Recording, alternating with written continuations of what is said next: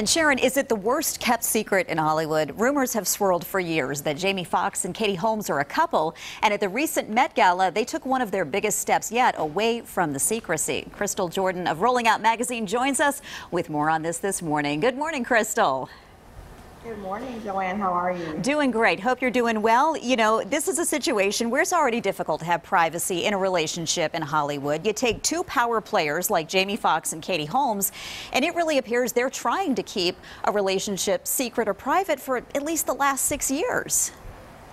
At least, but I think you think about this relationship, you have to think about the fact that Katie Holmes, of course, was married to Tom Cruise, one of the biggest powerhouses in Hollywood. And Tom Cruise and Jamie Foxx were friends. Tom Cruise actually tapped Jamie Foxx for his uh, 2006 movie Collateral that did really, really well. The two became really great pals. They did press together. You saw them out. There are actually pictures of Tom Cruise and Katie Holmes, who were married at the time, out with Jamie Foxx as well. So there's a little bit of, of a history uh, with this couple because of that marriage. Of course, that was a long time ago. We know that Tom Cruise and Katie Holmes divorced. Um, was very public, very big Hollywood divorce.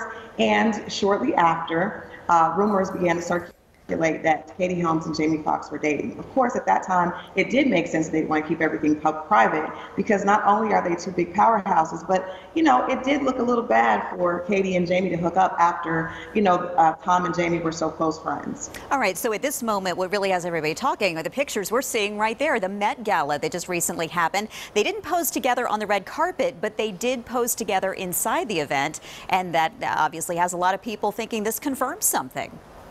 Well, I think it does confirm something. They pose together, which they do not do. Now, last year, uh, uh, Clive Davis threw a party for Jay Z, and, and Katie Holmes was there with Jamie Foxx. They were together, but that was an industry party, so there wasn't, you know, the press and the public fanfare that, of course, comes with the Met Gala. So the fact that these two actually took pictures together, they were dressed not quite coordinating, but you can see that there was some time put into the fact they did look like a couple at the Met Gala. So perhaps we're thinking this could be a sign that they're ready to go public. Yeah. There were rumors that that Katie could possibly be pregnant, but um, we're not sure about that. But there is there are rumors circulating that way. So that that's the talk, though, on why this might be the reason why now they seem to be a little more public.